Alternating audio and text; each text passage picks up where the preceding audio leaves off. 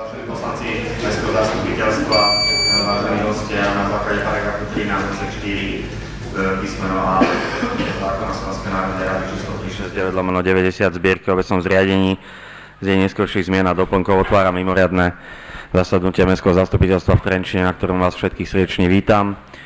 Podľa podpísanej prezenčnej listiny konštatujem prítomnosť nadpolovičnej väčšiny poslancov Mestského zastupiteľstva, teda z celkového počtu 25 poslancov, je prítomných 20 poslancov, na základe čoho vyhlasujem dnešné zasadnutie za uznášania schopné.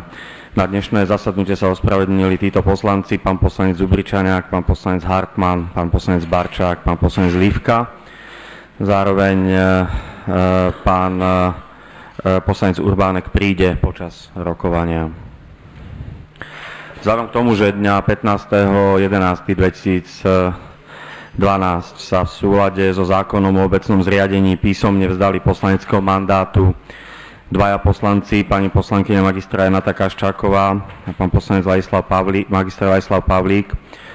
Pristúpime najprv e, k zloženiu slubu e, nových poslancov. Ja poprosím e, Eh, pána poslanca, pána doktora Hulína, aj pána magistra Koláža, aby pristúpili tuto k, k listinám, ktoré budú podpisovať.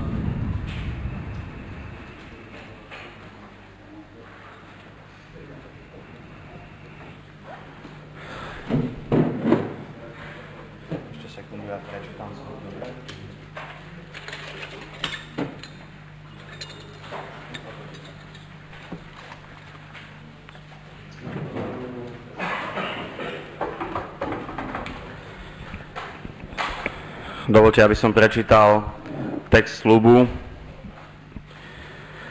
Slubujem na svoju česť a svedomie, že budem riadne plniť svoje povinnosti, ochraňovať záujmy mesta, dodržiavať Ústavu Slovenskej republiky, ústavné zákony, zákony a ostatné všeobecné záväzné právne predpisy a pri výkone svojej funkcie poslanca Mestského zastupiteľstva ich budem uplatňovať podľa svojho najlepšieho vedomia a svedomia.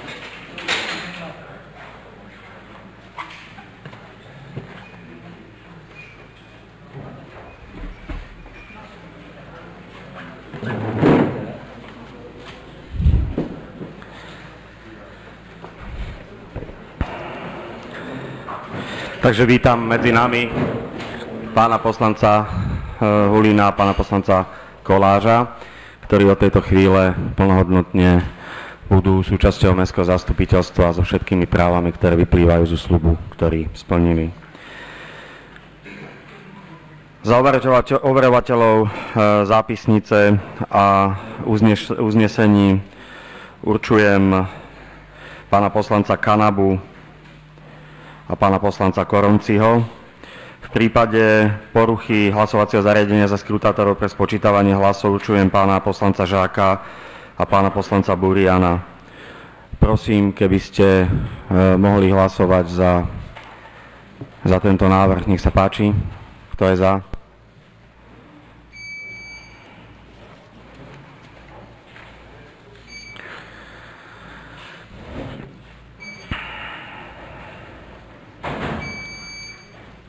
Za 17 držal sa jeden, nehlasovali dva. Ja konštatujem, že e, tento návrh ste schválili. Program zasadnutia ste obdržali e, v pozvánke. E, má niekto návrh na doplnenie alebo zmenu programu rokovania? Pán poslanec Košut. Takže dobrý deň, ja by som chcel navrhnúť ďalší bod programu, neviem pod akým číslom.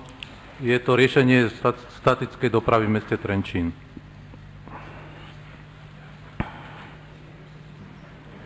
Bod 9. Takže ako bod 9. Ďakujem. Pán poslanec Babič.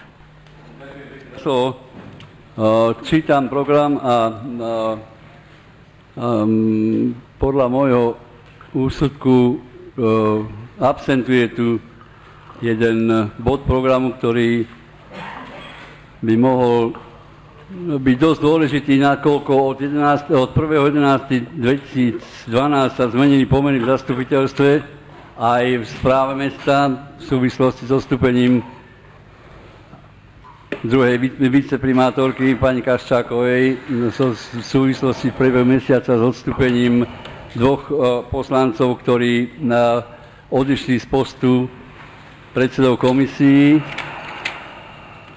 je podľa môjho názoru nutné zmeniť tieto pravidlá v tom zmysle, že je treba zmeniť napríklad počet členov rady mestského zastupiteľstva, pretože dochádza k takým momentom, ako, pred, doma dňami, dvomi dňami, kedy sa rada zišla, respektíve ne, nezišla, alebo zišla a nebola uznášania schopná z toho titulu, že je stále registrovaných 8 členov rady, čo nie je skutočnosť. A samozrejme aj náhrada ďalších dvoch členov rady, ktorí by, ktorí by mali týchto, sa týchto uh, zasadnutí zúčastňovať. Tým pádom je tu takýto stav, že dnešné zastupiteľstvo a všetky body programu dnešného zastupiteľstva neprešli mestskou radou a nemajú jej odporúčanie. Aby sme sa takémuto dosť e, anomálnemu stavu vyhli. Predpokladal som, že v dnešnom zastupiteľstve bude bod programu, ktorý tieto záležitosti zahrne a aj ich dorieši.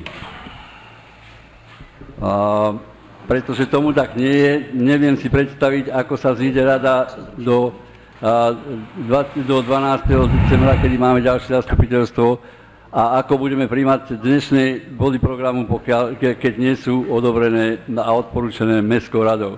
Poprosil by som nápravu v tejto veci. Ďakujem. Dovolte mi, pán poslanec, aby som vás upozornil na to, že v súčasnosti má Mestská rada 5 e, členov z 8, to znamená, že je uznášania schopná. E, ja som,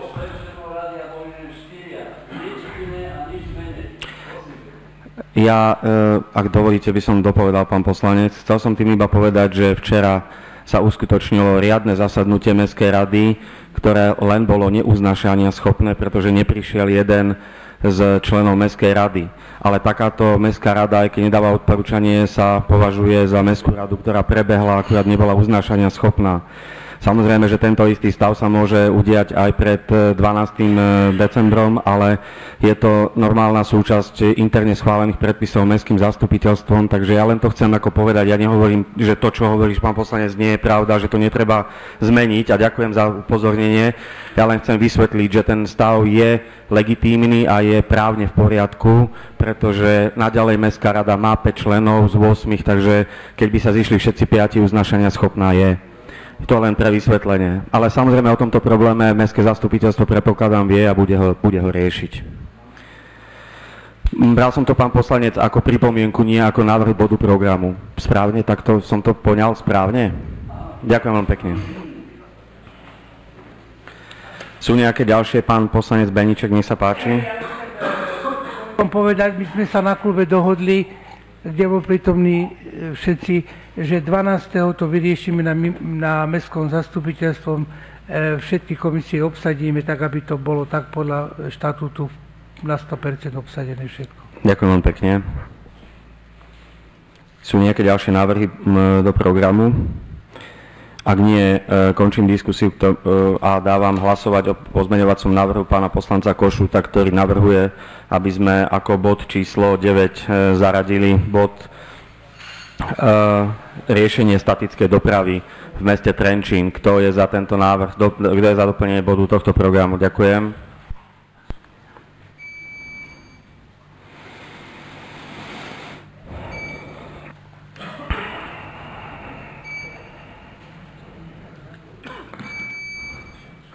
Ďakujem za 20, konštatujem, že tento návrh ste schválili.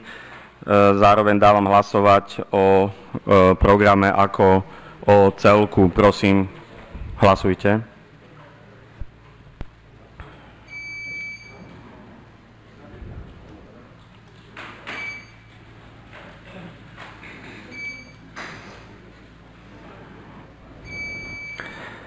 Za 20 konštatujem, že program ste schválili. Týmto, vážení poslanci, považujem dnešné zasadnutie Mestského zastupiteľstva za otvorené.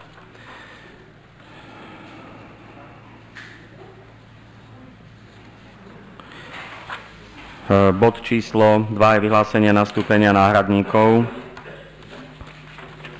ktorý ste obdržali v programe. Týka sa to našich dvoch e, Týka sa to teda e, nastúpenia náhradníkov na upraznené mandáty poslancov. Dostali ste aj návrh na uznesenie. Otváram diskusiu k tomuto bodu.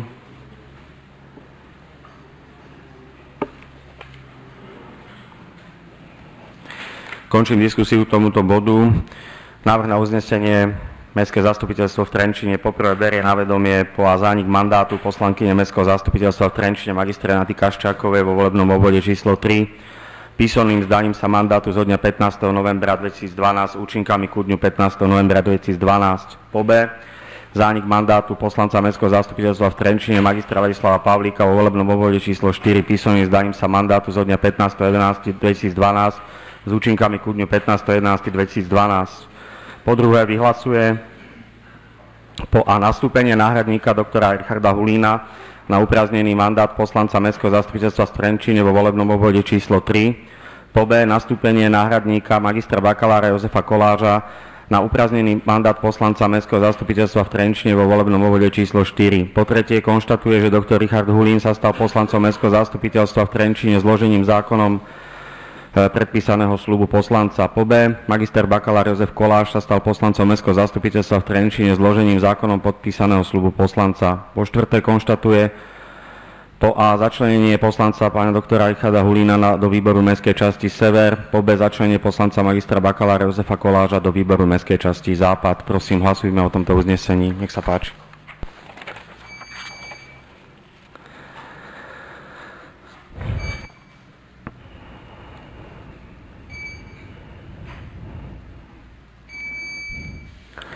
Za 20 konštatujem, že tento návrh uznesenia ste schválili.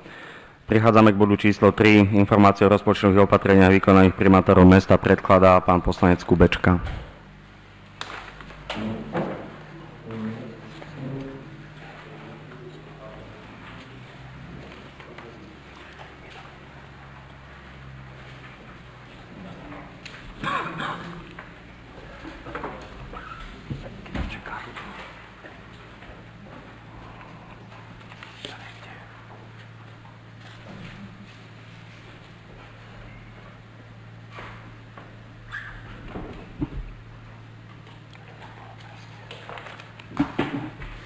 Dobrý deň, prajem, vážený pán primátor, vážení kolegovia, zamestnanci, rad obyvateľia mesta.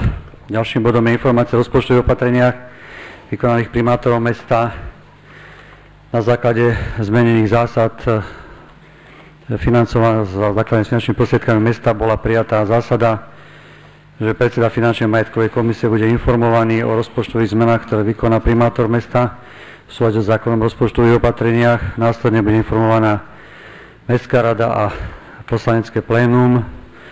S potešením musím konštatovať, že táto úloha sa plní excelentne. Okamžite, ako je realizovaná rozpočtová zmena, som informovaný. Ako môžete vidieť, okamžite dostanete odo mňa informáciu o týchto rozpočtových zmenách. Takže každý mal možnosť preštudovať si, aké zmeny boli zrealizované ešte pred prerokovaním samotných rozpočtových zmien na mestskom zastupiteľstve Dneska sa jedná o zmeny 14, 17, 18 a e, pani Capová tam priloží aj 19, o ktorej ste takisto boli informovaní.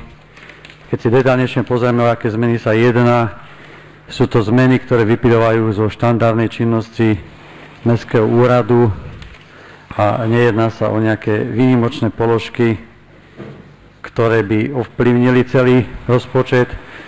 Okrem jednej, kto, ktoré sme sa bavili aj na finančnej majetkovej komisii, to je podchod pri hoteli Tatra. Tam sme navyšovali investíciu Bavili sme sa na tú tému, že by sme radi vedeli, ako bolo preinvestované finančné prostriedky pri hoteli Tatra, ale v zásade môžem konštatovať, že všetky rozpočtové zmeny, ktoré tu sú, sú v súlade s rozpočtom a nejakým zásadným spôsobom neovplyvní rozpočet. Môžete otvoriť diskusiu. Ďakujem pekne, pán eh, poslanec. Eh, otváram diskusiu k tomuto bodu.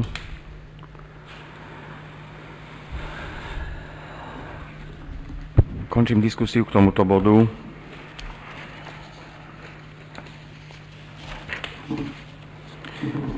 Eh, dávam hlasovať o nasledovom uznesení. Mestské zastupiteľstvo v Trenčine berie na vedomie informáciu o rozpočtových opatreniach vykonaných primátorom mesta v zmysle predloženého materiálu. Prosím, hlasujte.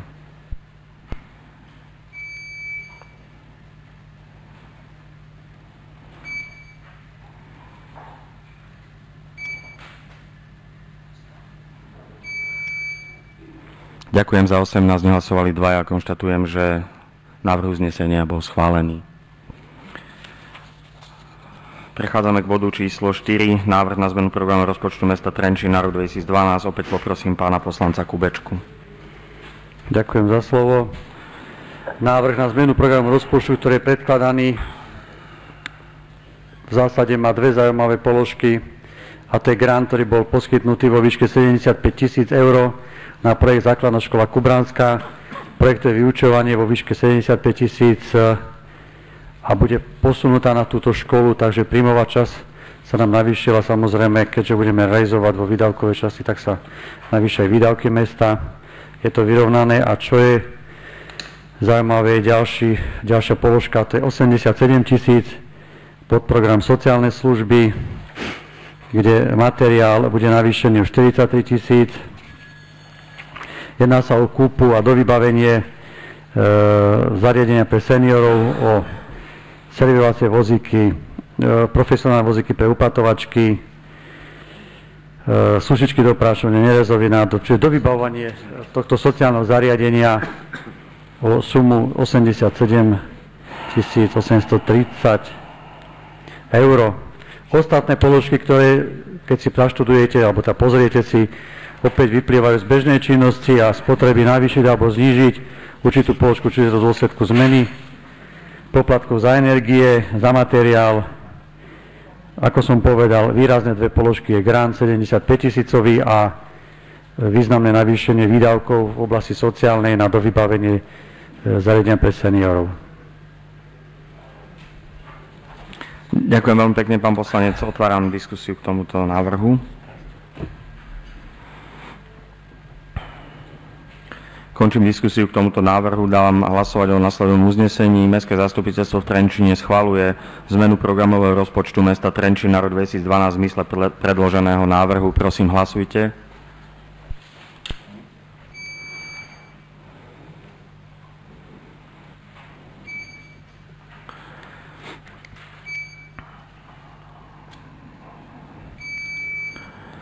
Za 18 držali sa dva. Ja konštatujem, že Návrh ste schválili. Bod číslo 5, majetkové prevody. Nech sa páči, pán poslanec Kubečka. Ďakujem za slovo. Pod bodom 5a sa jedná o prevod majetku predaj pozemku v katastrálnom území Istebník pre manželov Jana Staňa, Janu Staňu za účelom ročnej oddychovej relaxačnej zóny pre záchranárov. Jedná sa o, veľk, o cenu za 52 15 eur za metr štvorcový. Pozemok sa nachádza medzi ulicou Vlárska a pozemkou vlastnice žiadateľa. Predmetný pozemok nemá vodné dopravné napojenie na ulicu Vlársku a prístup je zabezpečený cez pozemky vlastnice žiadateľov. E, odborné útvary odporúčajú zrealizovať túto transakciu, takisto finančná majetková komisia, výbor mestskej časti súhlasí, mestská rada nebola označená schopná Celková kúpna cena predstavuje 13 298,25 eur. Ďakujem pekne, otváram diskusiu k tomuto návrhu. Končím diskusiu k tomuto návrhu. Je to prípad hodný osobitného zreteľa, takže dávam hlasovať o prípade hodnom osobitného zreteľa. Prosím, hlasujte.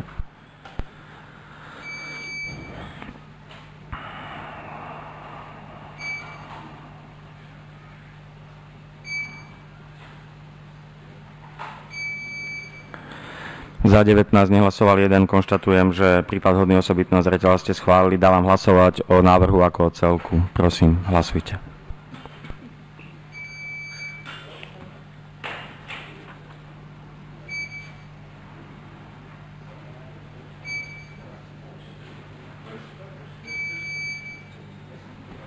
Za 19 nehlasoval jeden, konštatujem, že návrh ste schválili. Nech sa páči, pán poslanec. Pod bodom 5b máme opäť, opäť majetkový prevod, ktorý je prípadom hodný osobitného zreteľa. Jedná sa o predaj nehnuteľnosti katastrálne územie Záblatie, výmera 16 m štvorcových, ostatné plochy 5 m štvorcových a 119 m štvorcových pre doktora Jaroslava Plevu za účelom strenia pozemkov a ostane čierne skladky odpadu, vysadba zelenia ochrany stromov za cenu 2, 2 eur za meter štvorcový. Ide o pozemky v svalitom teréne porastené samonáletovými drevinami. Podujal sa pán doktor, že ich bude udržiavať. Pre mesto tieto pozemky sú nevyužiteľné. Odborné útvary, výbor mestskej časti, takisto finančná majetková komisia súhlasila. Mestská rada sa neviedla, nebola uznašania schopná. Celková kúpna cena je 280 eur. Ďakujem pekne, otváram diskusiu k tomuto návrhu. Končím diskusiu k tomuto návrhu. Prípad hodný osobitného zreteľa, prosím, hlasujte.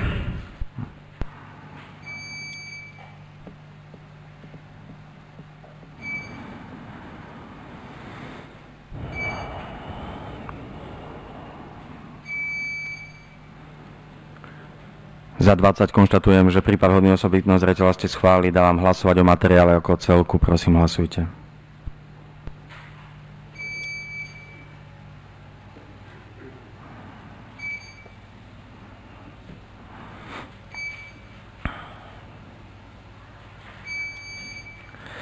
Za 20 konštatujem, že návrh ste schválili. Nech sa páči, pán poslanec. Ďakujem. Ďalší bod je 5C. Je to predaj spoluvlastnického podielu na pozemku vrátane stavby parkovisk na pozemku katastra územie Trenčín, výmera 913 m štvorcových za účelom vysporiadania parkoviska postavenú pre bytové domy za kúpnu cenu vo výške 30 30 19 eur m štvorcový do podielov spoluvlastníctva vlastníkov v dome súpisné číslo 3371 na Hálovke. Ide o odpredaj spoluvlastnických podielov jednotlivým vlastníkom bytov v súlade s zákonom o prípade odnosu toho zreteľa, nakoľko parkovisko bolo postavené výhradne pre tento bytový dom. Celková kúpna cena predstavuje sumu 2635,28 eur. Budeme hlasovať k prípadu zreteľa. Útvary odborné súhlasia, finančná majetková komisia takisto, výbor mestskej časti ju odporúča, mestská rada nebola oznášania schopná. Ďakujem pekne, otváram diskusiu k tomuto návrhu. Končím diskusiu k tomuto návrhu. Prípad hodný osobitného zreteľa. Nech sa páči, hlasujte.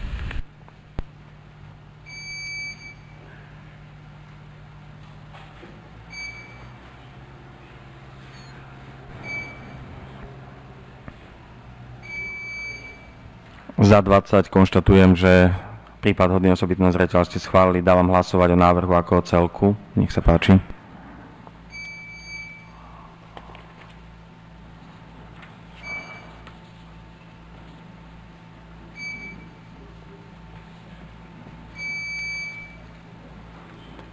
Za 20 návrh ste schválili. Nech sa páči. Je to vysporiadanie vzájomná výmena pozemkov, e, rodina Hudy. Nebudem to celodôvodne čítať, je trošku komplikovanejšie, ale v podstate, i keď v tomto prípade bude to nepatrný nepomer v neprospech mesta, e, navrhujú aj odborné útvary, aj jednotlivé komisie, aby sme túto vzájomnú zámenu vysporiadali. Budú to dva prípady, je to jeden prípad hodne hudých a v tom prípade to bude Slovenská správa ciest. V prípade Slovenskej správy ciest sa bude jednať o sumu 18 366,26 eur. Ďakujem pekne, otváram diskusiu k týmto dvom návrhom. Končím diskusiu. Dávam hlasovať o prípade hodnom osobitného zreteľa. Prosím, kto je za?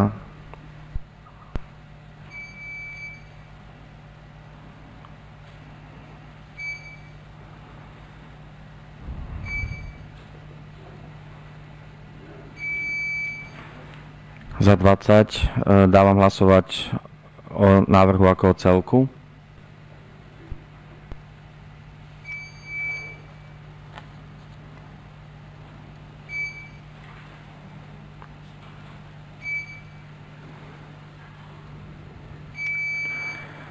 Za 20 tento návrh ste schválili.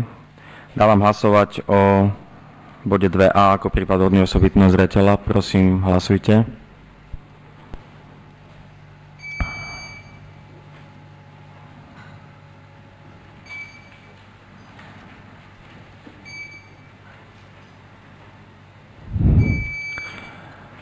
Za 19 nehlasoval 1. Ho ste schválili, dávam hlasovať o bode 2 ako o celku.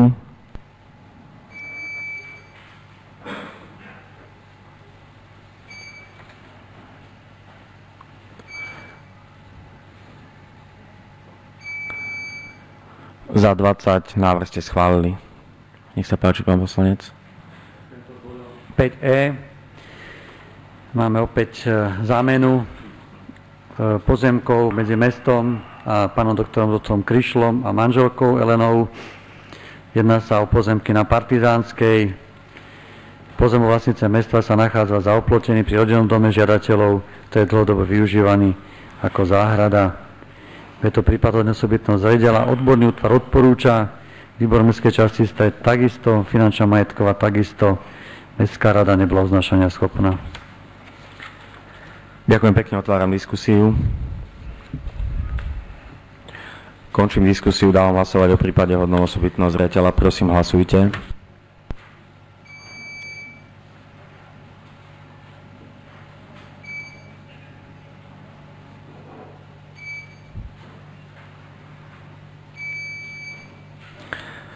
Za 20, prípad hodný osobitného zreteľa ste schválili, prosím hlasujte o návrhu ako celku.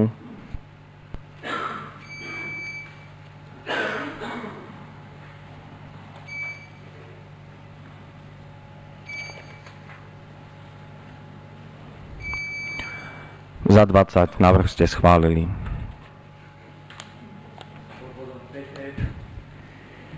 Máme kúpu stavebného pozemku, nachádzajúce sa na ulici Hviezdoslavovej, katastrálne územie Trenčín, stavba nastava bytového domu Hviezdoslavova, to vlastníctva mesta Trenčín od investora Drevokov Krupina za účelom zariadenia zrekonštruovanej komunikácie do majetku mesta. Celková kúpna cena je 1 euro, to bola tá zájomná výmena pri rekonštrukcii.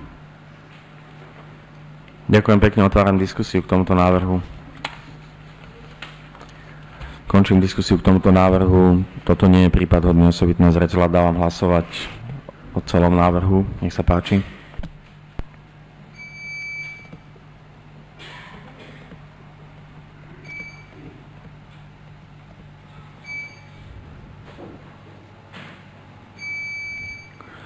Za 19 nehlasoval jeden návrh, ste schválili.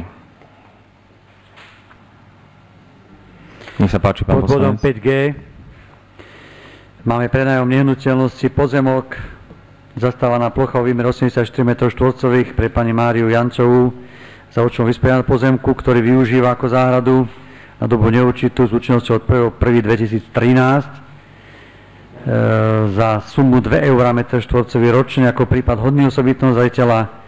Na základe výzvy Mestského úradu pani Jančova požiadala o uzatvorenie nájomnej zmluvy na pozemok o tejto výmere. Predmetný pozemok dlhodobo užívaný bez zmluvného vzťahu je oplotenia, ktorý súčasť záhrady žiadateľky. V takomto prípade bude to príjem do rozpočtu mesta 168 eur.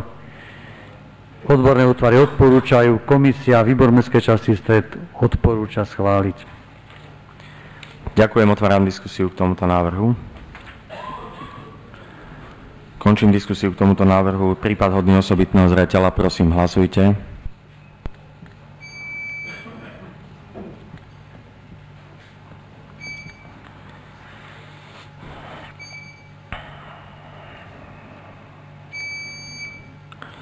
Za 20 konštatujem, že na hodný, hodný zreteľ, oso, uh, prípad hodný osobitný zreteľ ste schválili. Teraz hlasujte o materiále ako celku. Nech sa páči.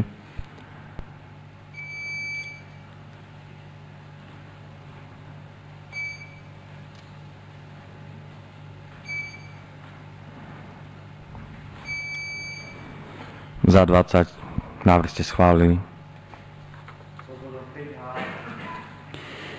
Máme prenajom pozemku katastrom zeme Zlatovce, veľkosť pozemku 21 m štvorcových pre pozemné stavby za účelom uz- umiestnenia cenového ukazovateľa totému čerpacej stanice na obdobie od účinnosti najmä zmluvy na dobu neurčitú za cenu 250 eur ročne za kus odbornej komisie. Komisie súhlasili, výbor mestskej časti Západ odporúča, odborné otvary takisto. Ďakujem pekne, otváram diskusiu. Pán poslanec Gavenda, nech sa páči. Ďakujem za slovo. Nedá mi pri tejto príležitosti neopýtať sa, kedy bude pasportizácia reklamných tabúl a billboardov. Ďakujem.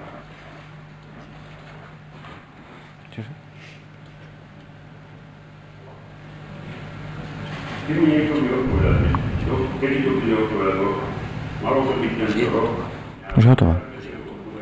Už je hotová, pán poslanec. Už je hotová. Je hotová, môžete ju dostať hneď k dispozícii, dobre?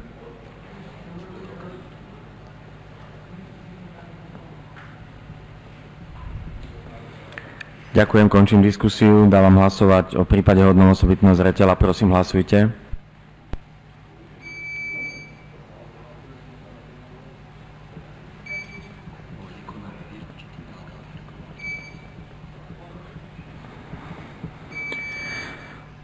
Za 17 držal sa jeden, nehlasovali dvaja. Prípad hodný osobitného zreteľa ste schválili. Prosím, hlasujte o materiále ako o celku.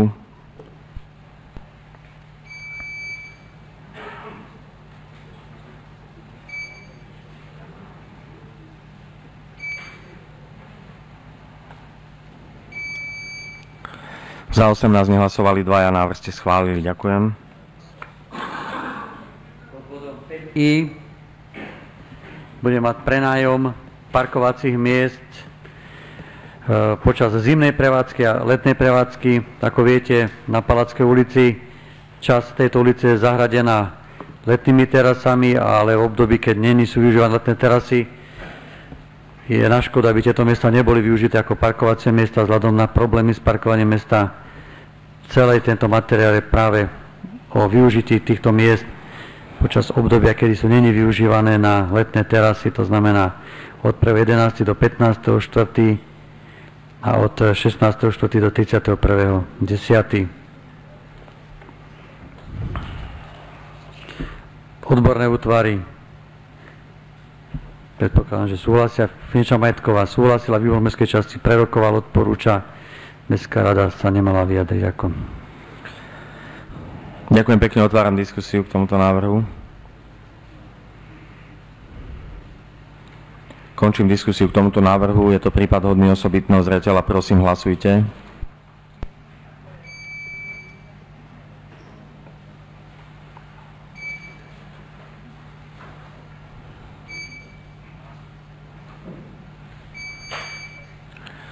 Za 19 nehlasoval jeden. Konštatujem, že prípad hodný osobitného zreteľa ste schválili. Teraz dávam hlasovať o materiále ako celku. Prosím, hlasujte.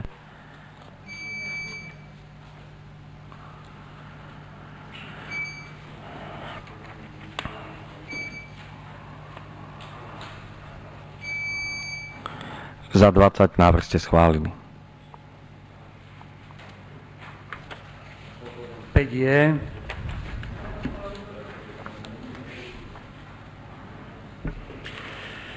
Je to prenajom časti podchodu pre peších Tatra Pasáž vedľa hotelu Elizabeth pre Martina Verčimáka, Vladimíra Božka. Týmto prípadom sme sa zaoberali aj na finančnej majetkovej komisii. Bola vyhlásená súťaž s podmienkami, ktoré si mesto dalo.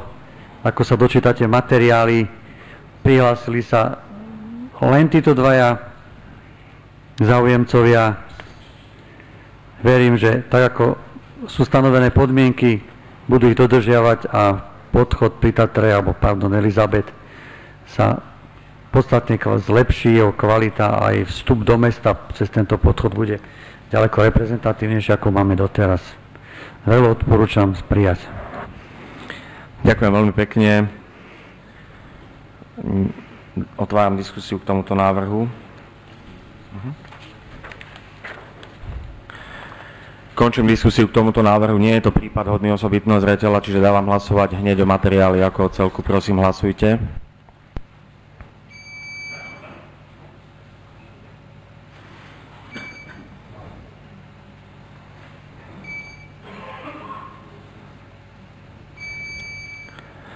Za 20 konštatujem, že tento návrh ste schválili. 5K.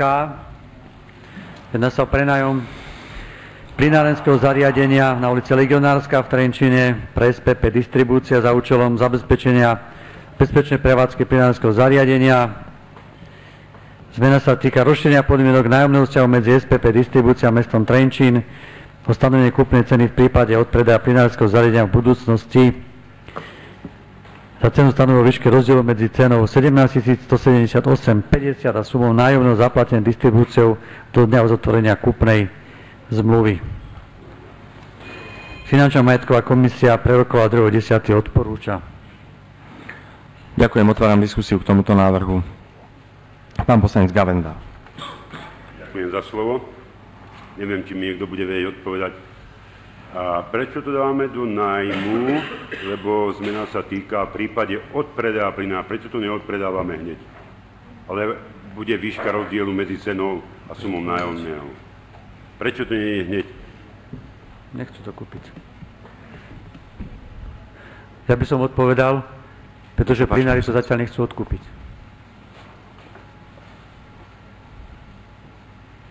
No ale však oni to správcujú. Jediný výhradný No. správca. My sme to Tak vybudovali, nech tam nepustia plyn. Tak to je, tak ale ide o tých ľudí, ktorí tam bývajú. to čo tam je. No, dobre. Ďakujem pekne. Končím diskusiu k tomuto e, bodu. Dávam hlasovať, je to prípad hodný osobitného zreteľa. Prosím, hlasujte.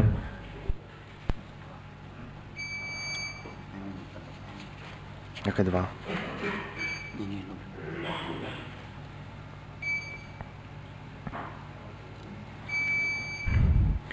Za 18 držal sa jeden, nehlasoval jeden na, na prípad hodný osobitného zreteľa ste schválili. Dávam hlasovať o materiále ako celku. Prosím, hlasujte.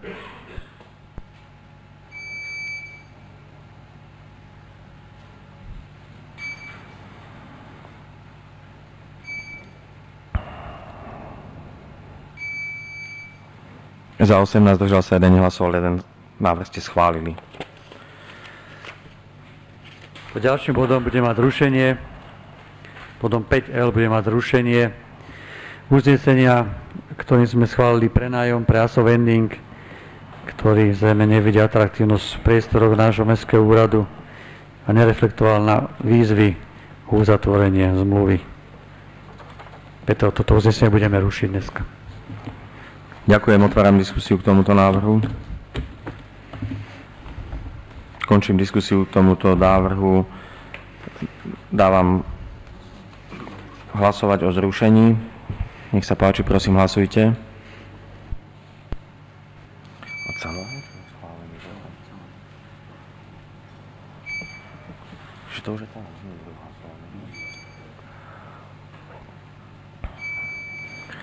Ďakujem za 20, tento materiál ste schválili.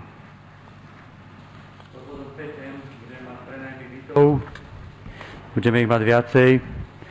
Takže ako prvý budeme schváľovať prenájom jednoizbového bytu číslo 8 e, na Kasárenskej pre nájomcu Jana Medu za cenu regulovaného nájomného 31,10 eur za mesiac ako prípadom nesobitného zreteľa. Pardon, prepáčte, pán poslanec. Uh, Začneme, môžeme hej, začať. no budeme musieť asi postupne, lebo sú to tie byty postupne, tak musíme otvárať urobíme každému to, tomu bytu. Áno, dobre. A neurobíme to potom tak, že dáme, jak sme minule hlasovali, že dáme potom o všetkých prípadoch osobitného zreteľa hlasovať naraz a potom o schválení No, naraz. prípady od osobitného zreteľa musia byť každý samostatne. Každý samostatne. Mhm. Dobre, takže otváram diskusiu k tomuto návrhu. Určite?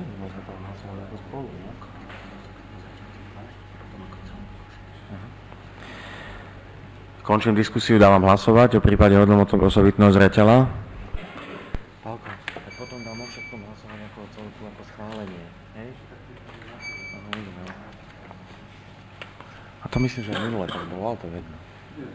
Dobre, dobre. Ďakujem za 19, nehlasoval jeden, host ste schválili, prosím hlasujte o teraz o materiáli ako o cel, teda o tomto návrhu ako o celku. Prosím hlasujte.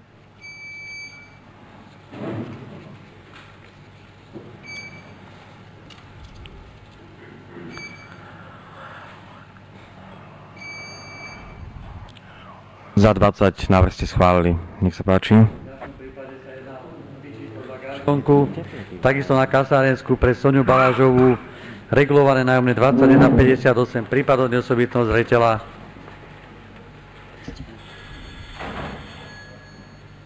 Desať eur do kasičky, komu zvoní telefón.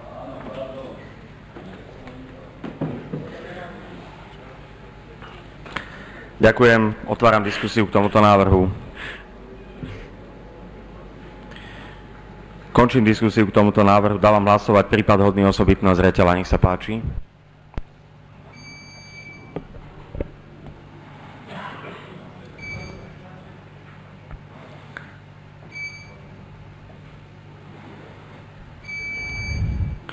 Za 19 nehlasoval jeden, host ste schválili, dávam hlasovať o návrhu ako o celku, prosím hlasujte.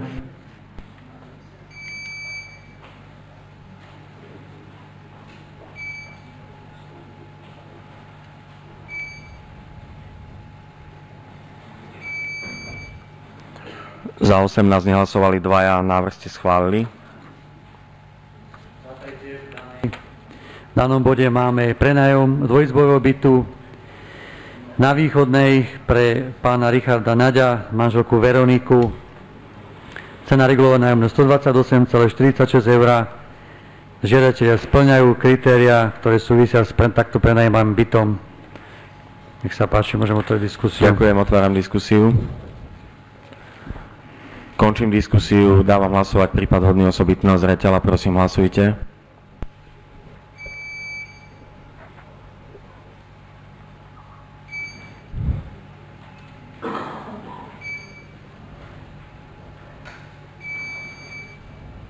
Za 19 nehlasoval jeden, prípad hodný osobitného zreteľa ste schválili, teraz dávam hlasovať o návrhu ako o celku, prosím hlasujte.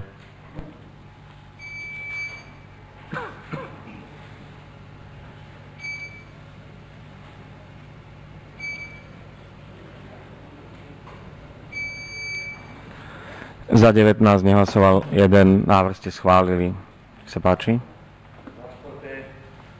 To jednoizbový byt na Kasárenskej pre pána Mandinca 25,09 eur mesačne, regulované nájomné. Takisto splňujú všetky podmienky, ktoré súvisia s takto prenajímaným bytom. Ďakujem pekne. Otváram diskusiu. Končím diskusiu. Prípad hodný osobitného zreteľa, prosím hlasujte.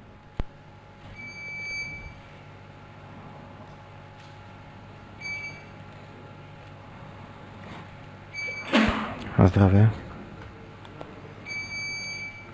Za 19 nehlasoval jeden, prípad hodný osobitného zreteľa ste schválili. E, prosím, schválte materiál ako celok. Sa páči, návrh teda.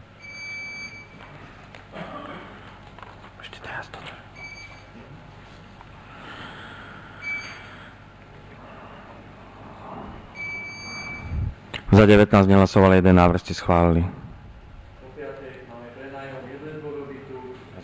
Prenájomcu Petra Melena.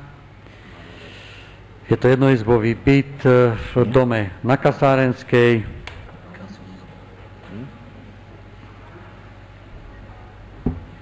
Môžeme hlasovať. Ďakujem pekne, otváram diskusiu. Končím diskusiu, prípad hodný osobitného zreteľa. Prosím, hlasujte.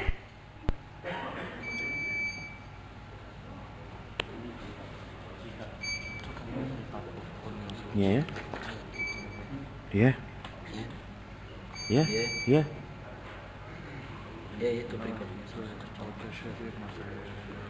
Ja, ja to bol P2, hej? Uh-huh. Prepačte, tak dal som hlasovať o prípade hodný osobitného zreteľa, to som preskočil na 6.1, to bol bod 5.2, ale myslím si, že sa to dá považovať za schválené.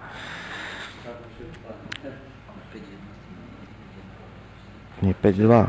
5.2. 5.2. 5.2.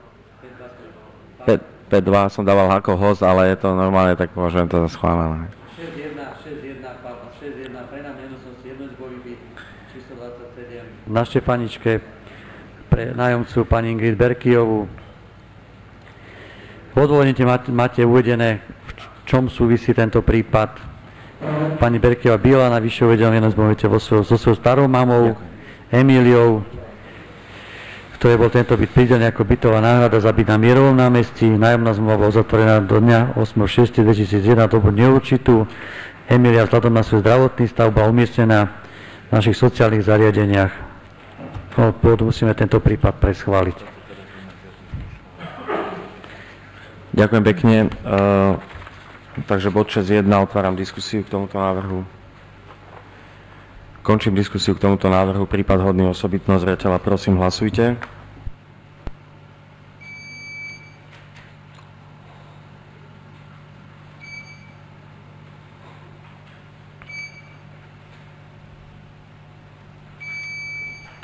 Za 19 nehlasoval jeden návrh ste schválili.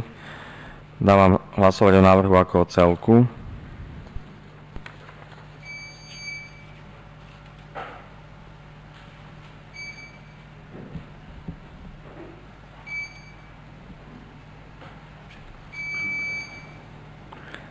Za 19 nehlasoval jeden. Konštatujem, že návrh ste schválili.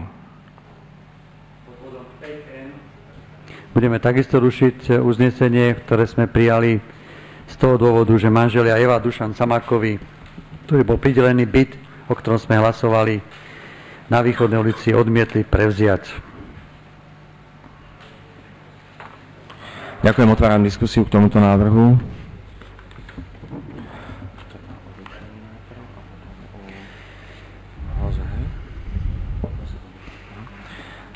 Končím disku... Pán poslanec Beníček, ste hlasovali, takže končím diskusiu. Dávam hlasovať o rušení, zrušení tohto uznesenia. Nech sa páči, hlasujte.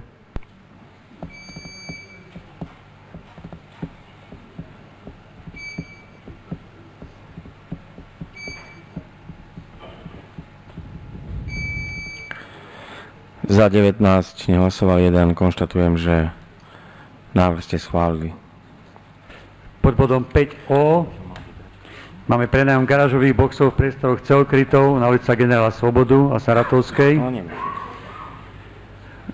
Takisto si môžete prečítať. Prihlási sa traja záujomcovia. Cena je 40 eur za, za mesiac pre pani Dagmara Židekovú a pre Branislava Jambricha.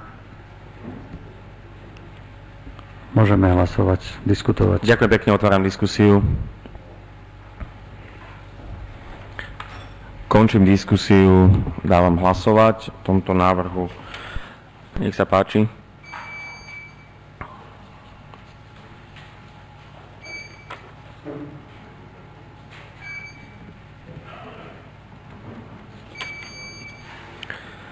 Za 19 nehlasoval jeden, návrh ste schválili.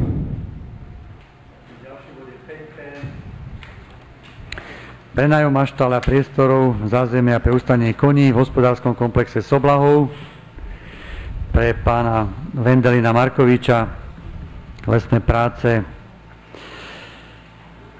za cenu 150 eur za mesiac na dobu určitú s účinnosťou na nasledujúcu pod nich, v tom bude zatransmova do doby 31.8.2013. Je to prípad hodne osobitného zretela.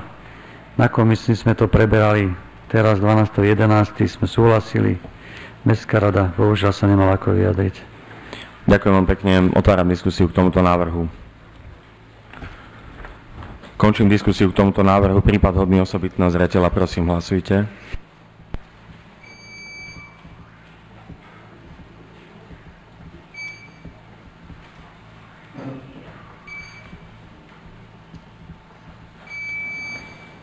Za 19. Nehlasoval jeden prípad hodný osobitného zreteľa ste schválili. Dávam hlasovať o návrhu ako o celku. Prosím, hlasujte.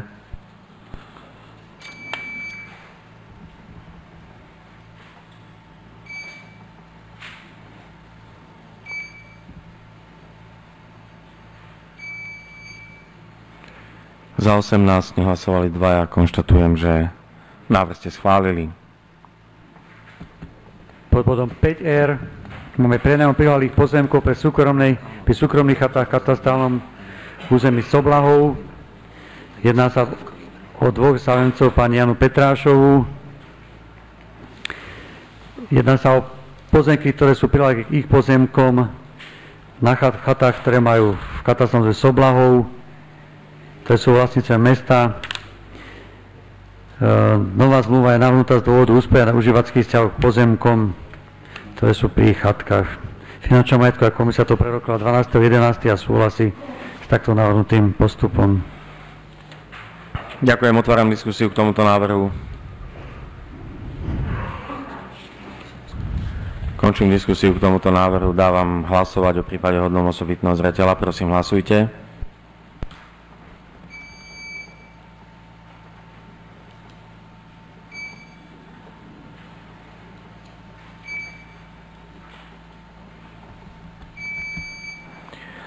Za 19 nehlasoval jeden. Konštatujem, že ho ste schválili. Dávam hlasovať o návrhu ako o celku. Prosím, hlasujte.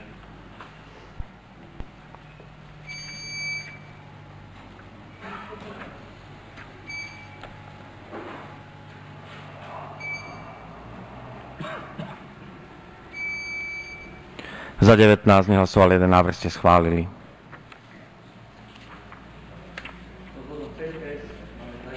Prilalých pozemkov pri súkromných chatkách na katastrálnom území Soblahov. V tomto prípade sa jedná o pani Máriu Halgošovú.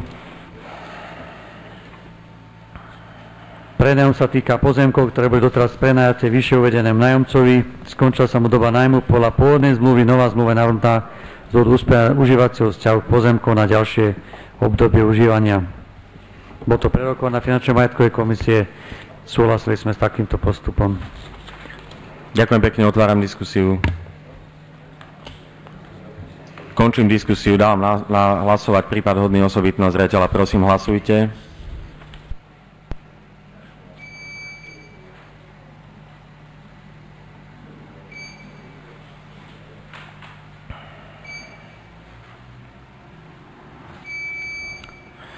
Za 19 nehlasoval konštatujem, že ho ste schválili. Dávam hlasovať o materiáli ako o návrhu ako o celku.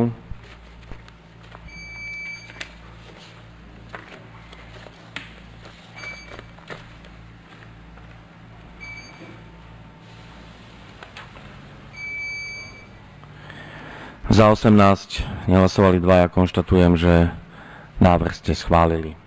Ďakujem pekne. Týmto sme skončili bod číslo 5. Prechádzame k bodu číslo 6. Tento bod predkladá pán poslanec Kubečka, nech sa páči. Ďakujem. Jedná sa o náročný materiál, o ktorom sme rokovali na spoločnom zasadnutí finančnej majetkovej komisie a komisie investičnej, keď to tak skladke poviem, kde prebehla si myslím veľmi plodná diskusia, prešli sa všetky body zmluvy, ktorá je tu dneska predkladaná. Pripomienkovaná bola zmluva veľmi detálne. Jednotlivé pripomienky, ktoré vznesli poslanci, boli zapracované do zmluvy.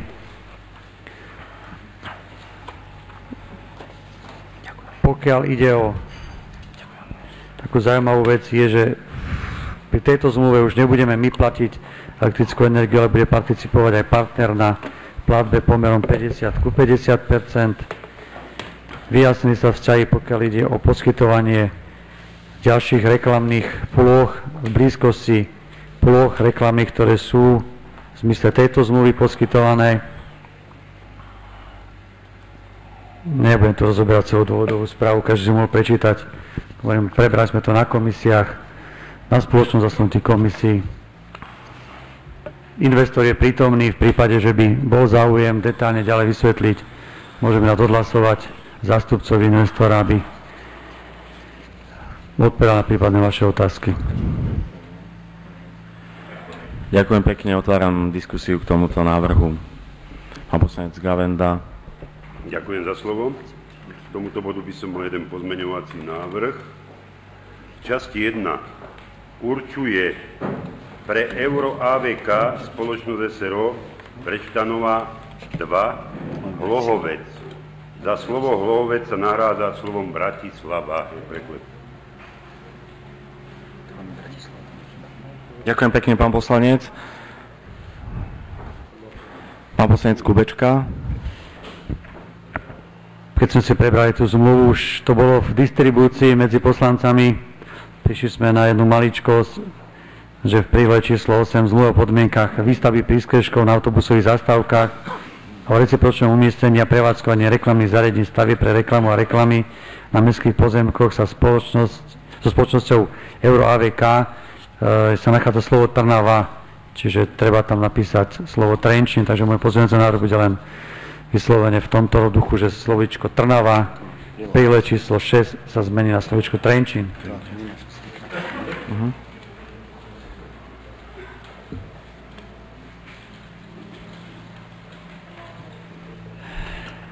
Ďakujem pekne.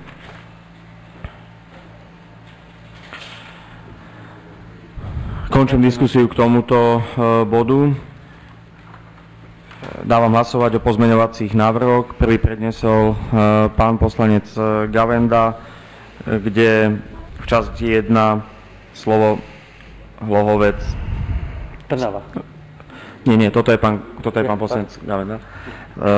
To mesto Hlohovec nahradí mesto Bratislava. Prosím, keby ste, je to v časti 1 zmluvy, keby ste dávali hlasovať o tomto pozmeňovacom návrhu, prosím, hlasujte.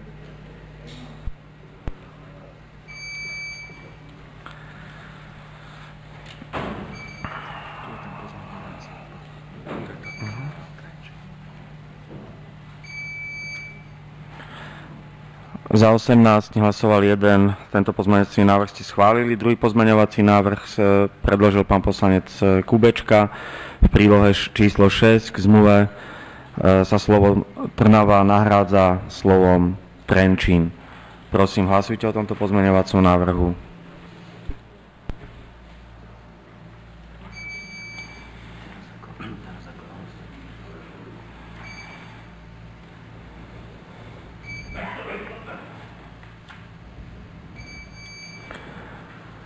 Za 17 nehlasovali dvaja, tento pozmeňovací návrh ste schválili. Teraz dávam hlasovať o prípade hodnom osobitného zreťa. Trikrát hlasovať o prípade hodnom. O majetku a potom o zmluvu. Áno, áno.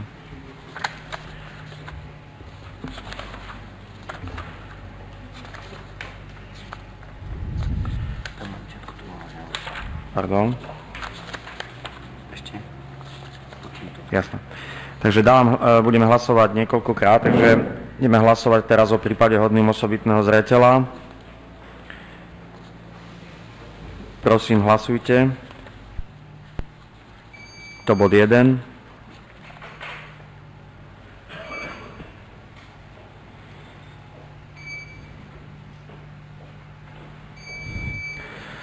Za 18 zdržali sa dvaja.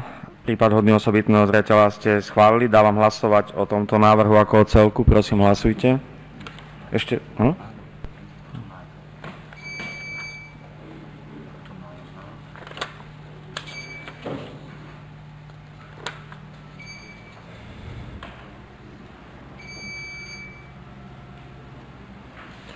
Za 17 zdržali sa dvaja, nehlasovali jeden. Konštatujem, že tento návrh ste schválili. To je tiež hos.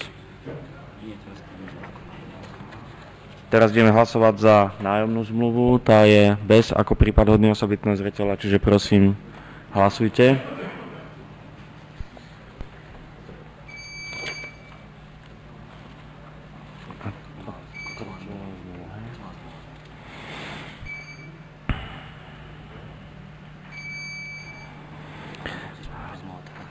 Z- Za 18, zdržal sa jeden, nehlasoval jeden. Konštatujem, že tento návrh ste schválili. A teraz dávam hlasovať e, o zmluve ako celku aj s pozmeňovacími návrhmi, ktoré boli schválené. Prosím, hlasujte. A koniec, ne?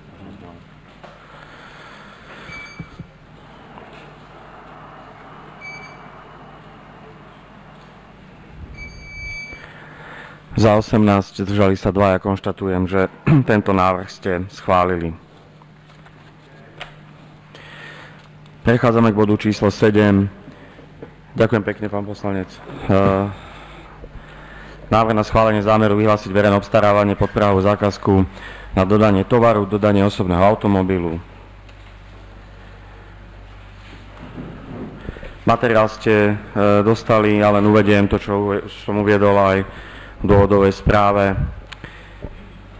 Uh, automobil má uh, už 9 rokov, k dnešnému dňu má myslím 323 tisíc kilometrov.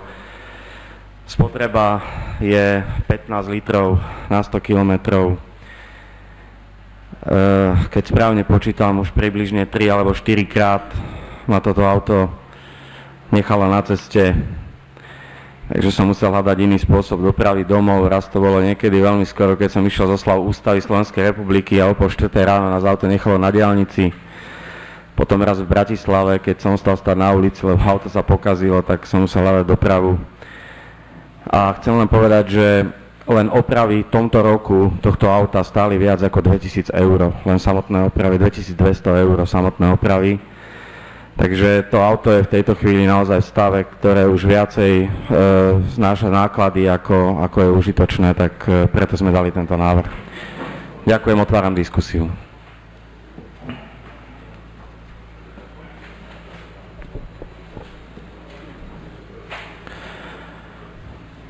Končím diskusiu, dávam hlasovať pán poslanec Gavenda a pán poslanec Babič. Ďakujem za slovo. A budem hlasovať za nákup auta, je mi jasné, že nové auto treba, len eh, chcel by som sa opýtať, eh, nové auto predpokladáme asi aké? No, je to súťaž, takže... Pardon. No veď či to bude v tej hodnote?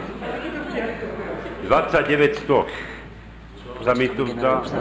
Samozrejme, že to vygeneruje obstarávanie, ale je to, to je bez DPH suma, ktorú sme nastavili a bez DPH, takže uvidíme. No. Hej, akože to je jedno z kritérií, ktoré sme stanovili, ale uvidíme, kto zvýťazí. Hej, neviem, neviem to teraz povedať. Pán poslanec Babič, ďakujem za otázku.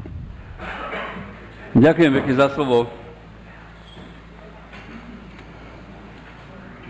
Auto je treba, auto je vždy treba. Ja to zohľadním takou situáciou alebo takými okolnostiami, ktoré mesto obklopujú. A dva roky sme v stave, kedy mm, bojujeme o každú korunu, v stave, kedy a poviem to za Komisiu kultúry a za oblasť kultúry, kedy jednoducho 50 eur hrá rolu v poriadaní podujatí a, a, pre- a prezentácii mesta a prichádzame k tomu momentu, že chceme kúpiť auto. Zase je jasné, že to auto je treba. Auto je treba vždy a každému. Neviem, či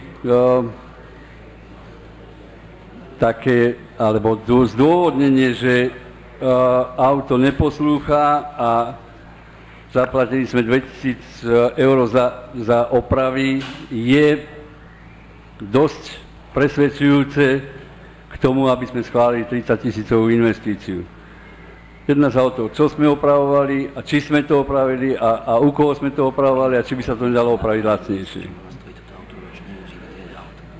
Kon, e, zásadne si myslím, že s touto investíciou, ak teda chceme túto mi- inštitúciu, túto investíciu schváliť a ak kolegovia túto investíciu schvália, samozrejme, to rešpektujem, ale som v tej polohe a som toho názoru, že by sme s touto investíciou mali počkať po prijatí rozpočtu a, v situácii, keď budeme vedieť, ako to s verejnými financiami budúci rok bude, počúvame v rádii, že verejné financie budú jednoducho veľmi okresané a okresené práve tým, že je treba riešiť oblasť eh, školstva a, učiteľov. A z toho vychádzam, že eh, verejné financie budúci rok asi budú nižšie než tohoto roku. Ja to nebudem nejakým spôsobom rozvádzať, ja som to povedal aj e, pred týmto, teda pred uvedením tohoto bodu do programu, že ja s týmto súhlasiť nebudem a ak, tak s tým, že táto, transakcia by sa mohla predviesť v budúci rok.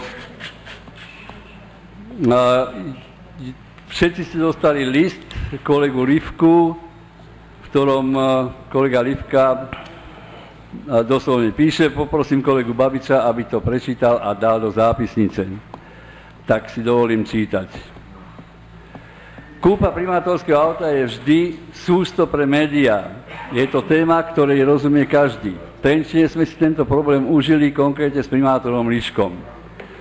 Vždy sa otázka vedie smerom, aké, aké luxusné, aké drahé auto si primátor kupuje. Vždy sa hľadajú príhľupe zdôvodnenia štandardov bezpečnosti a pomyselných výsledkov dosahovaných pri prerozdeľovaní peňazí daňových poplatníkov. Ako keby starosta či primátor mal súperiť s manažérmi súkromného sektora aj autom. Ale podotýkam, rozpočet mesta sú financie verejné. Otázka by mala znieť, kam chodí starosta, a to nehovorím len o Trenčine, autom, ako často a či je nutné k jeho výkonu. Dá sa predpokladať, že starosta, primátor ako volená funkcia by mal sedieť na stoličke v svojom meste. Koľkože najazdí primátorské auto kilometrov za rok? Maximálne by mal popčas niečo vybaviť v Bratislave, koľko je takých dní, či možno nejaké stretnutie z most a šlus, fajka z hasla. To, čo som povedal, platí kedykoľvek a tu v Trenčine primátor zdedil mesto s ľudovo povedané vykradnutou kasou, a k tomu okolo nás je ekonomická kríza. Mňa sa preto dotýka, že súčasný primátor pokračuje podľa mňa v zdedenom veľkopánskom zvyku zamestnávať osobného šoféra. Podľa toho, čo nám bolo povedané v predošlých rokoch, predchádzajúci primátor si nechal vyvážať aj na letisko na odlet na súkromnú dovolenku, i tak se dá, i tak se dá. Pripomínam, že sú aj európske demokratické krajiny s inými životnými štandardmi a v nich mestečka ako my a mesta aj väčšie. Tam primátor si odšoferuje sám, prípadne občas niekoho na to zo zamestnancov vyťaží, ale nemá na to šoféra. To je viditeľnou vizitkou šetrenia nákladov a prístupu k verejným financiám. Myslím, že by sme sa mali nad týmto zamyslieť aj my ako orgány mesta. Toľko citát poslanca Roberta Livku. Ja len dodám, že ja by som uh, navrhol, alebo ja by som bol spokojnejší, keby sme uh, túto transakciu uh, previedli až po schválení rozpočtu a je to aj môj pozmenujúci návrh. Ďakujem pekne, pán poslanec Košút. podstate od začiatku nášho funkčného obdobia sa bavíme o tom, že mesto má málo finančných prostriedkov. Podstate dva roky stále sa robí niečo preto, aby tých finančných prostriedkov sa ušetrilo, aby sme mali na, aj na iné veci. Ja osobne si myslím, že niektoré veci ale na úrade sa zabezpečovať musia. Musia sa zabezpečovať veci, ktoré sú nutné na prevádzku a na prevádzku určite treba auto, ktoré nie je podľa mňa len pre primátora, ale aj pre ostatných zamestnancov. A zase by to malo byť také auto, ktoré bude aj reprezentovať človeka, ktorý je teda primátorom, veď nemôže si kúpiť nejaké auto, čo aj Fabiu a chodiť na Fabii. Stretáva sa aj s inými funkcionármi, aj s inými starostami, takže podľa môjho názoru tá cena nie je nejaká premrštená a dá sa za to na teda primerané auto. A to isté určite časom bude musieť dojsť aj k nákupu výpočtovej techniky, k nákupu, ja neviem čo, kopíriek. Jednoducho, aby tá prevádzka úradu išla, tieto veci sa budú musieť spraviť. Takže to je môj názor. Ďakujem. Ďakujem pekne, pán poslanec Kanaba. nemôžem súhlasiť s názorom pána kolegu Livku, ktorý tvrdí teda to, čo tam Janko Babič prečítal a divím sa, Janko, aj tebe, že tu navrhuješ, aby sa odsunul nákupu motorového vozidla po schválení rozpočtu. E, zabudol si na jednu podstatnú vec, Janko. Toto je návrh na výberové konanie a to môže trvať aj do januára. A my nebudeme predsa čakať áno, na schválenie rozpočtu a potom kupovať auto. Výberové konanie spravíme teraz, áno, kto ponúkne najlepšiu cenu, od toho sa kúpi. Ale v rozpočte tieto peniaze tak či tak byť musia. Len uvedom si jedno, že e, sme krajským mestom a primátor reprezentuje aj naše mesto a kraj zároveň. Predsa neviem, čo s tým Livka myslel, či chce prepožičať mestu jeho Twingo e, Renault, alebo ja neviem, a na tom primátora vozí do Bratislavy, pretože nepochopil som, čo týmto chcel povedať. Viem, že teda boli reči, keď sa kupovalo Audi, ktoré Liška kupoval pred pár rokmi, no len za to auto sa zaplatilo na starú menu 2,5 milióna korún. Áno, pokiaľ si pamätám. Takže to bolo o niečom inom. Hej?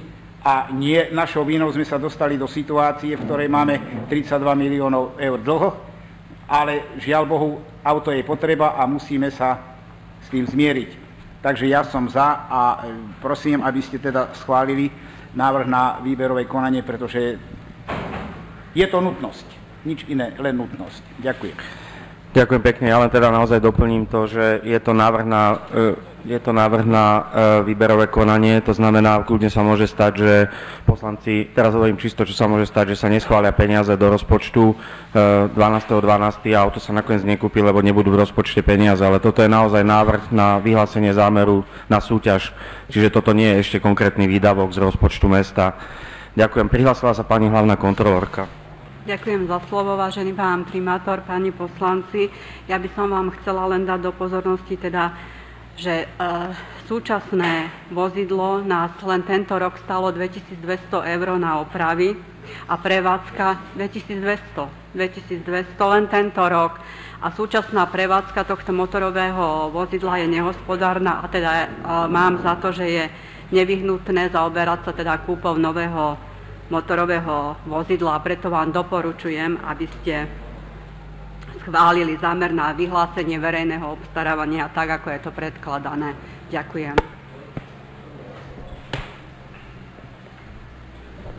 Ďakujem veľmi pekne. Pán poslanec Paška, nech sa páči.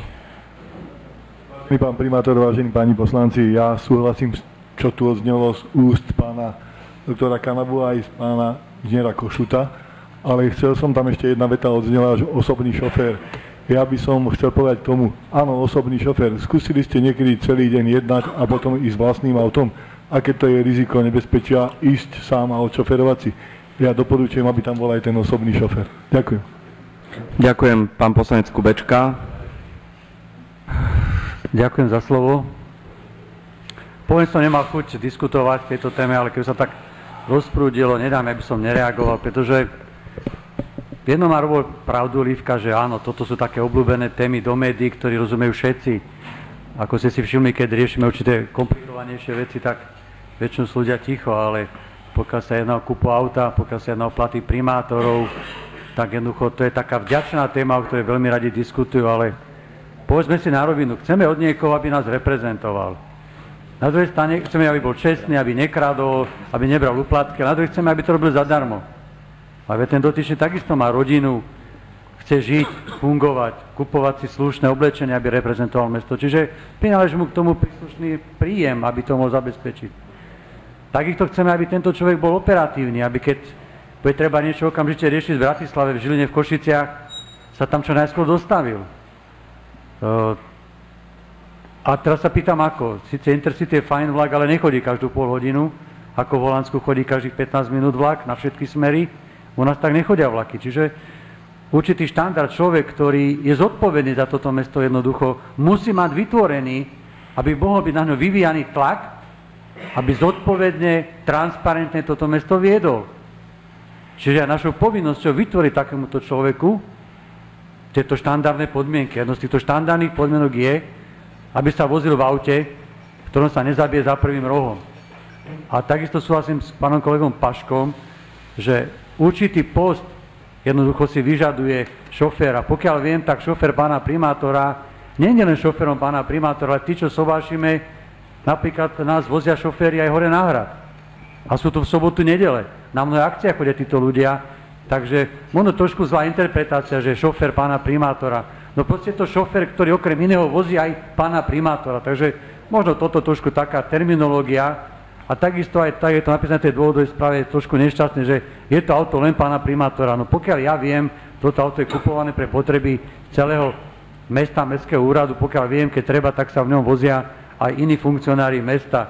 Takže nebuďme pokrytci, nebuďme farizei jednoducho. Ak chceme, ako som povedal, človeka, ktorý je zodpovedný za toto mesto, lebo je štatutárom tohto mesta, aby ho viedol transparentne, zodpovedne, musíme mu vytvoriť podmienky a jedna z týchto podmienok je, aby mal slušné auto. Baviť sa chceme, či to bude 12, 15, 22, 29 tisíc eur. Strop je stanovený 29 tisíc eur. Verím, že firmy sa pobijú o to, aby umiestnili za nižšie sumy, ako sú stropy. Teším sa na verejné obstarávanie. Ďakujem veľmi pekne. Ja chcem len povedať to, že samozrejme, eh, keby tá prevádzka toho auta nebola neefektívna a keby jednoducho ne, ne, nevznikali častokrát poviem aj také trápne situácie na cestách, tak eh, Priznám sa vám, že by som nikdy takýto návrh nepredložil a vozil by som sa v aute, ktoré si myslím, že, že ešte by dokázalo vydržať, ale preto som predložil tento návrh, lebo po dvoch rokoch som vlastne usúdil aj po dohode s odborníkmi, aj so šoférmi, že uh, aj keď je to teda chulostivá otázka, ale je to otázka, ktorá zabezpečí, tak ako povedal pán poslanec Kubečka, auto aj pre iných, nielen pre primátora. A zároveň chcem povedať, že čo sa týka víkendov, tak na drvivú väčšinu akcií cez víkendy, kde chodím ako primátor, používam svoje vlastné auto za svoje peniaze, e, len minimálne využívam auto cez víkendy a jazdím za svoje, takže chcem len povedať, že interpretácia typu, že mi raz stačí ísť na ZMOS a raz mi stačí ísť niekde do Košíc je buď neznalosť veci, alebo taká smutná provokácia od pána poslanca Lívku. Faktická poznámka, pán poslanec Babič. Pozmeňovací návrh. Ďakujem vám pekne.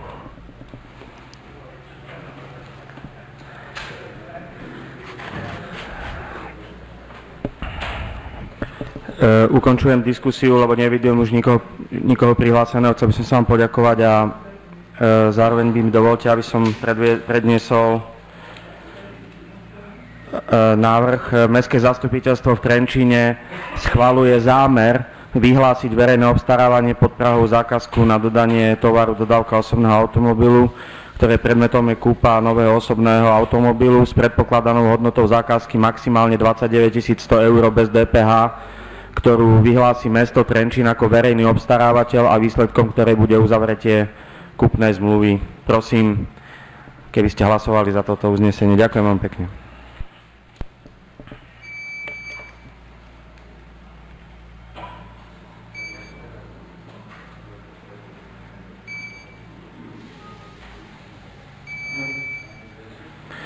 Za 16 držali sa traja, nehlasoval jeden. Konštatujem, že toto uznesenie ste schválili. Ďakujem pekne. Bod číslo 8 návrh na vymenovanie rejiteľa sociálnych služieb mesta Trenčín. Predkladám ja ako primátor. Dostali ste dôvodovú správu k tejto veci. Chcel by som konštatovať, že návrh na vymenovanie pána Pavlika je okrem toho, čo uvádzam v dôvodovej správe, že sa uskutočnilo nielen výberové konanie, ale chcem povedať, že e, pán Pavlík je e, nie len teda človek, ktorý je slušný, ale zároveň je to človek, ktorý si myslím, že je jeden z mála, ktorý má veľmi silné sociálne cítenie. Myslím si, že je to človek, ktorý má sociálne cítenie asi také, aké má málo kto a domnievam sa, že má predpoklady vykonávať túto funkciu. Zároveň samozrejme treba povedať, že bude na ňo vyvíjaný enormný enormný tlak na zodpovednosť, pretože je to veľmi ťažká pozícia, momentálne veľmi aktuálna, pretože práve na sociálny rozmer obyvateľov je kladený veľký dôraz a sami dobre vidíte, aké je veľmi ťažké nielen na, u nás v meste, ale v štáte sa vysporiadať s týmto sociálnym tlakom a takže tá úloha bude pre ňo veľmi zodpovedná. Ja dúfam, že ju zvládne a samozrejme chcem povedať, že bude mať úlohy, ktoré budú veľmi, veľmi dôležité a ja dúfam, že ich zvládne a e, takže preto som predložil tento návrh a otváram diskusiu. Ďakujem.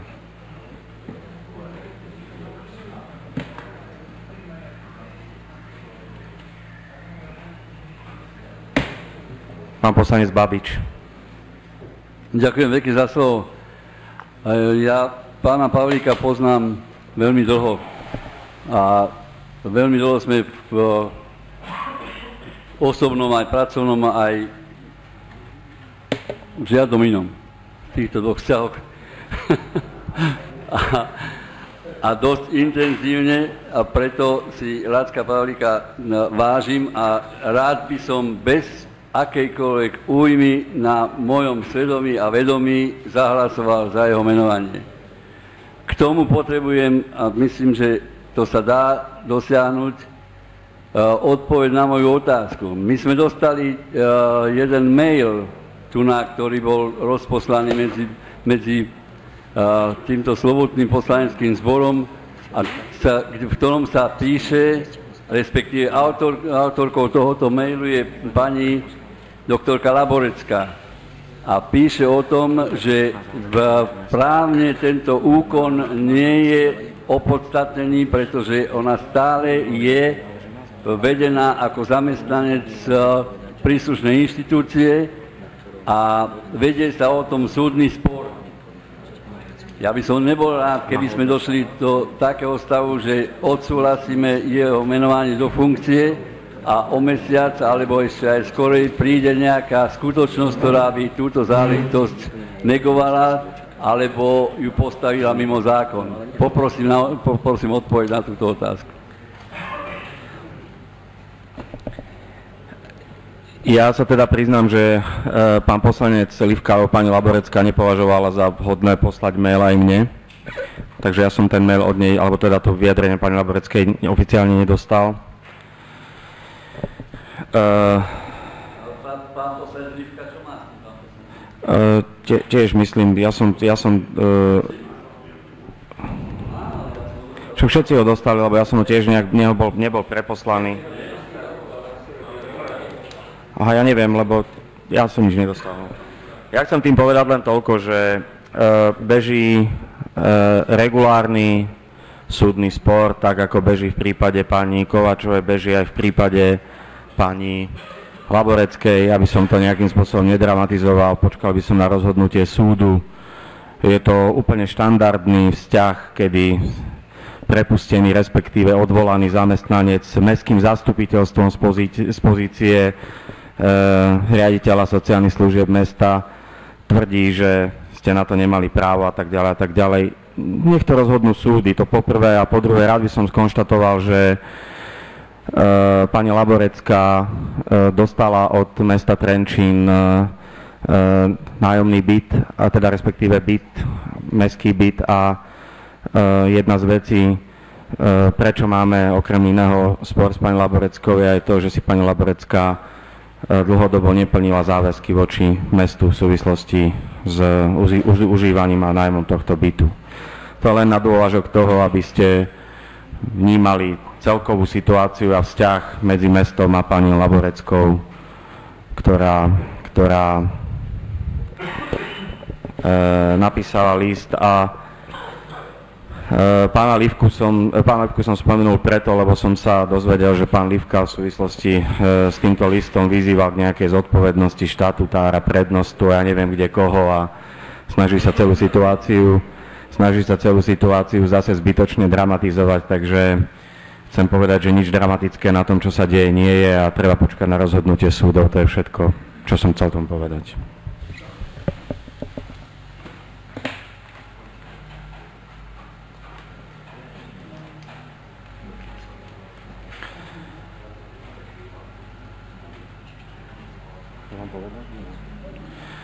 Pán poslanec eh, Babič, faktická.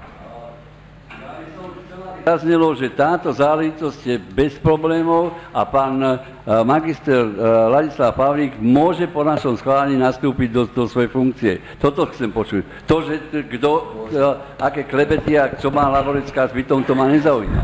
Ja Táto som, akcia- Ja by som rád počul, ak chcem stlačiť toto tlačítko za, ak stlačím ho vtedy, keď tu zaznie, že áno, pán Pavlík je v tejto veci úplne na, legálne a ce- celá záležitosť prebieha v duchu zákona. To chcem počuť. Ďakujem pekne, takže chcel by som vám oznámiť, e, vážené zastupiteľstvo, že celá táto akcia je absolútne právne v poriadku. Pani Laborecká právoplatným uznesením Mestského zastupiteľstva bola odvolaná z funkcie riaditeľky sociálnych služieb mesta Trenčín, takže táto po- pozícia je momentálne voľná.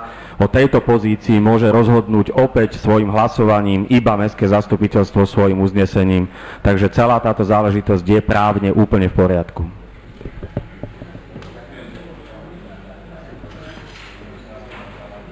Pán poslanec Kubečka, nech sa páči. byť vykladačom zákona ako z rady starší, ale aby niektorí kolegovia trošku si uvedomili súvislosti, lebo tiež som čítal ten e, list, ktorý dostal pani Laboreckej. Pre tých, ktorí nevedia, aspoň priznám sa, ja si to tak vysvetľujem, ak sa milím, rád sa dám poučiť. E, My ako poslanci, my sa zákona o obecnom zriadení e, volíme a odvolávame riaditeľov organizácií zriadených a založených mestom. Ale pracovnoprávny vzťah na základe tohto aktu sa im ani nezakladá, ani nezaniká. To znamená, my môžeme s kľudom odvolať, povedzme, náčelníka policie a on môže s kľudom ďalej pôsobiť ako zástupca náčelníka policie. To isté, my sme boli s kľudom odvolať pani Laborecku a ona mohla ďalej pôsobiť napríklad ako vedúca ekonomického útvaru, ak by tam taký útvar bol. Čiže znova opakujem, z toho, čo ja mám vedomosti ako poslanec, tým, že niekoho menujeme alebo odvoláme, to ešte neznamená, že má automaticky, hlavne pri odvolávaní, zaniká pracovnoprávny vzťah. To je už potom vecou štatutára mesta, ktoré zastupuje štatutár, aby riešil tento pracovnoprávny vzťah. Ďakujem. Ďakujem, pán poslanec, je to presne tak, ako ste to teraz povedali.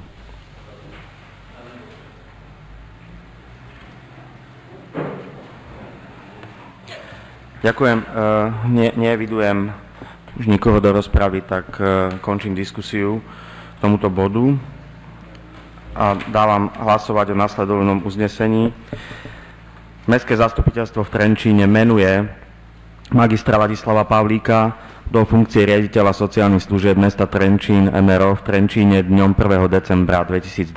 Prosím, hlasujte.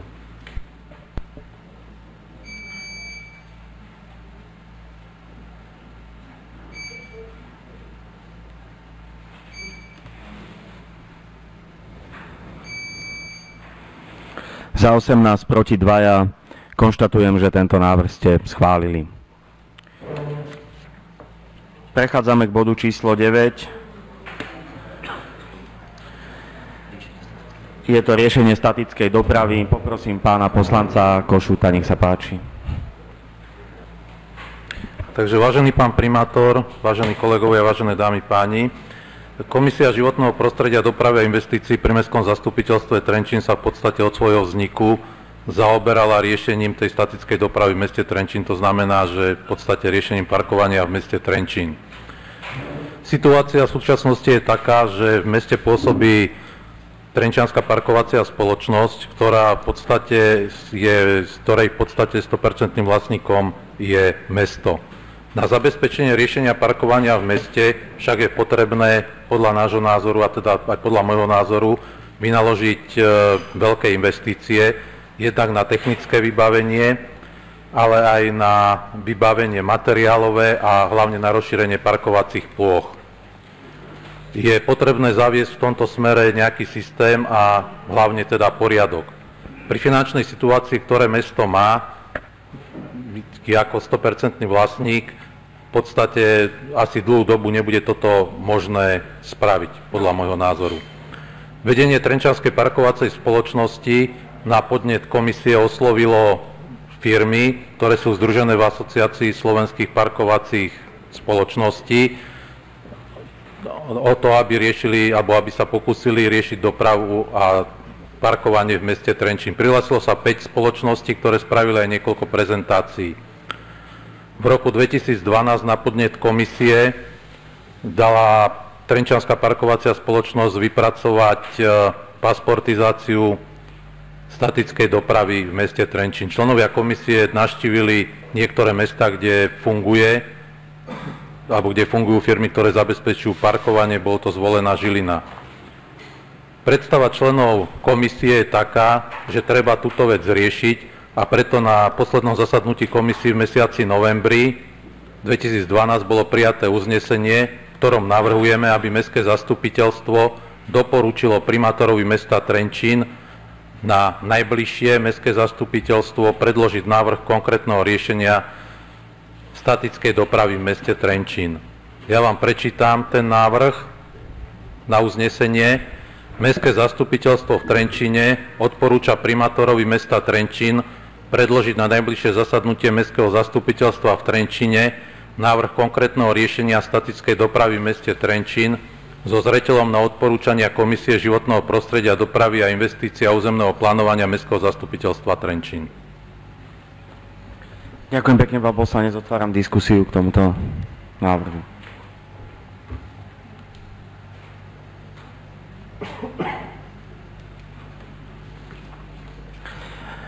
Končím diskusiu k tomuto návrhu. Dávam teda hlasovať o predloženom návrhu uznesenia, ktoré prečítal pán e, poslanec Košut. Prosím, hlasujte.